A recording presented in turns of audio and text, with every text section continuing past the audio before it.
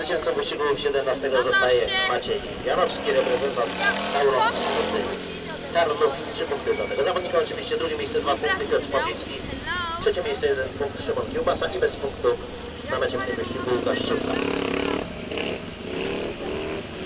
Czas zwycięzcy wyścigu 17 to 63,78 sekundy, 63,78 sekundy.